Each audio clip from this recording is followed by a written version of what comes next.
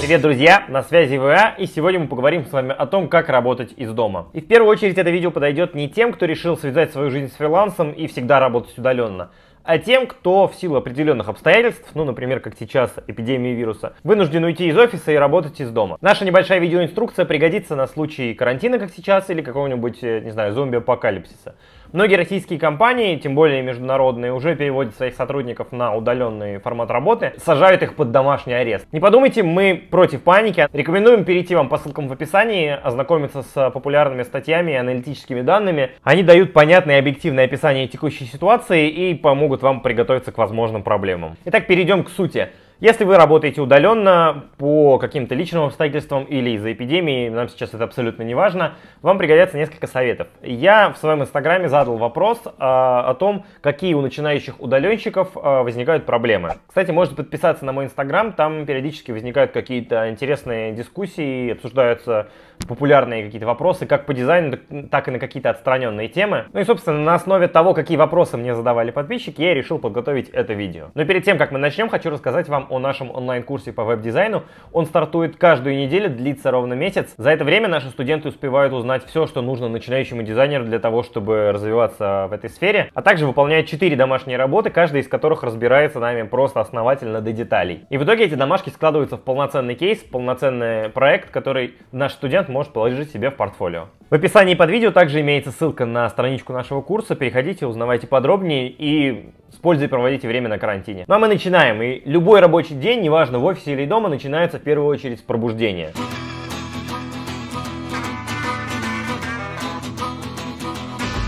С одной стороны, кажется, все намного проще. Не нужно тратить дополнительное время, просыпаться раньше, не нужно тратить целый час для того, чтобы добраться до работы. Можно спать намного дольше, но вот в этом самом комфорте как раз таки и кроется главная проблема всех, кто работает на удаленке. И правило номер один, не приравнивайте работу на дому и проживание. Это касается абсолютно всего. Не давайте себе поблажек по сну, не ходите дома в пижаме, не отдыхайте на диване, не включайте телевизор. Даже если вы находитесь дома, ваши мозги постоянно должны быть в работе с 9 до 6 ну или любое другое время, а вы можете обсудить это с руководством, об этом я расскажу чуть позже. Вообще, я рекомендую вам продолжать просыпаться в то же самое время, в которое вы обычно вставали на работу, а свободные вот эти лишние 30-60 минут тратить на утренний ритуал. И я серьезно, это действительно работает.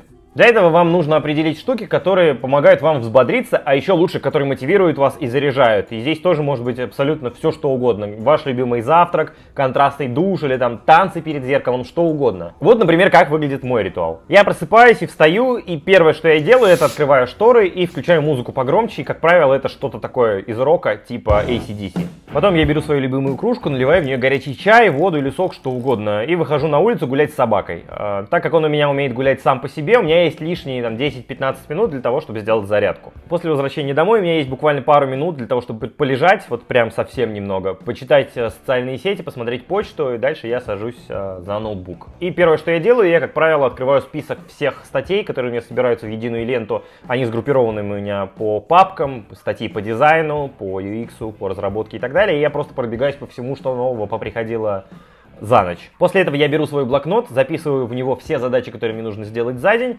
а, и, собственно, приступаю к работе, расчищаю рабочий стол и начинаю фигачить. Да, и, кстати, про рабочий стол.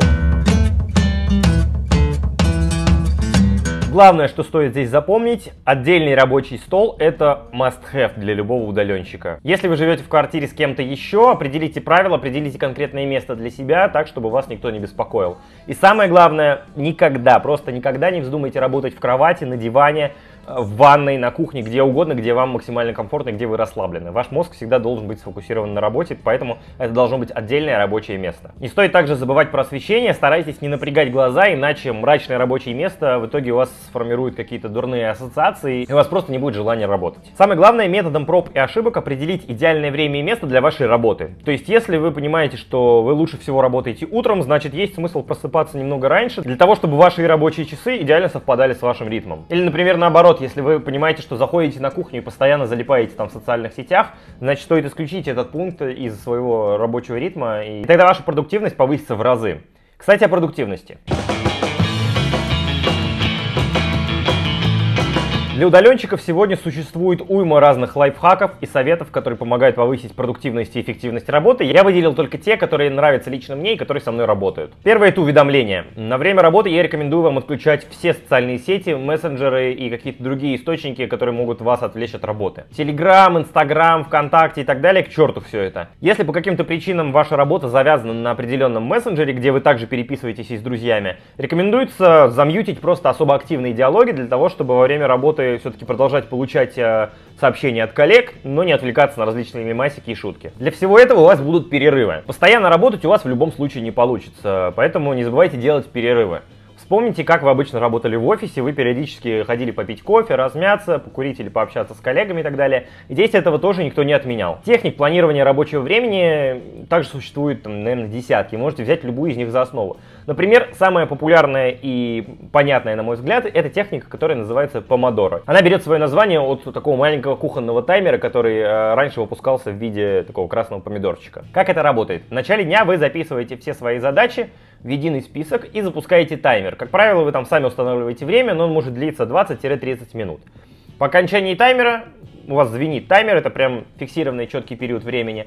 Э, вы можете сделать перерыв 3-5 минут. И так до тех пор, пока задачи в вашем списке не закончатся. А, каждые 3-4 таких вот помидорчика рекомендуется делать перерыв побольше, примерно там 15, 20, 30 минут. Опять же, вы устанавливаете это сами. Для работы в таком режиме существует уйма различных э, приложений и сайтов. Э, вы можете просто забить в гугле Pomodoro Tracker или Pomodoro Timer и выбрать тот, который вам понравится и по дизайну, и по функционалу. Ну и, наконец, мой любимый вариант – это вознаграждение за определенные этапы работ. Ну, например, выполнили задачу, теперь можете съесть конфетку.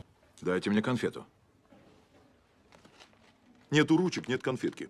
Лично я каждый вторник записываю разборы домашних работ для студентов нашего курса по веб-дизайну. Их, как правило, накапливается около 10, я начинаю с самых сложных, одну записал, чем-то себя подбодрил, вторую записал, там, съел печеньку или что-то еще. Лично со мной еда работает э, просто на ура. Как только я добрался до середины всех домашек, я могу позволить себе что-то посерьезнее, например, выпить банку колы или заказать доставку. Думаю, принцип вы поняли. Выполняйте какой-то определенный этап работ и вознаграждаете себя. Ну и, наконец, последний важный аспект, о котором меня спрашивали в Инстаграме, это общение.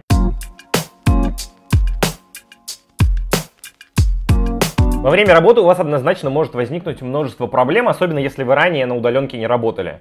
Ну, типа, с кем общаться, как не сойти дома в четырех стенах, да, как, через что общаться и так далее. Очень много вопросов, очень мало ответов. Давайте попробуем разобраться. Первое – это коммуникация в команде, потому что это тоже важно. Если вы все работаете в разное время и в разных условиях, на удаленке такое часто бывает, э, предложите руководству или просто всей команде созвониться, пообщаться, провести опрос и выбрать какие-то определенные часы, в которые вся команда будет доступна. Это поможет вам э, не ждать, когда определенный сотрудник наконец-то уже появится в сети, а знать, что вот в конкретное четкое время вы сможете к нему обратиться за помощью. Также не стоит на карантине забывать про неформальное общение, его очень часто не хватает, особенно особенно, опять же, повторюсь, тем, кто неожиданно перешел на удаленку и не успел к этому подготовиться. Если у вас есть друзья или коллеги, с которыми вы привыкли общаться, рекомендую вам тоже с ними связаться, списаться и выбрать на каждый день или там через день определенный временной промежуток, полчаса, допустим, э, с 3 часов до 3.30, договориться, что в это время вы всегда можете друг другу позвонить, пообщаться и так далее. Опять же, благодаря этому вам не нужно будет ждать, когда ваш друг освободится по работе. Вы сможете стыковаться и пообщаться по телефону или в мессенджерах, покидать друг другу мимасики и расслабиться. Если вдруг э, у вас не какой-то жесткий карантин и в вашем городе, допустим, открыты торговые центры или спортзалы, вы можете потратить лишний час или потратить свой обеденный перерыв для того, чтобы сходить куда-то, где есть еще другие люди. Не обязательно общаться, просто сам факт того, что вокруг вас будут люди и вы будете не заперты в своей квартире, он уже немножечко расслабляет мозги в этом плане. Ну и, наконец, определите четкие временные рамки, в которые вы работаете. Рекомендуется их даже обсудить и закрепить вместе с руководством.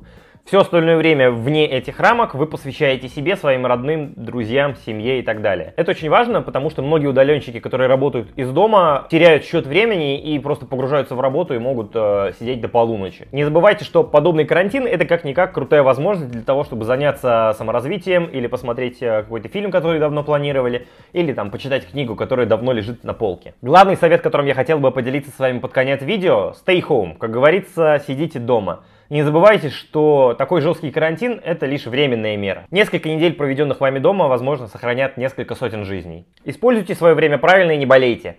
Не забывайте подписаться на этот канал, если вам понравилось видео, ставьте лайк. Также не забывайте подписываться на другие наши социальные сети, ВКонтакте, Телеграм и Фейсбук. Там мы регулярно публикуем полезный контент на тему веб-дизайна и удаленной работы. Ну а с вами был Валерий Алексеев. Пока. Thank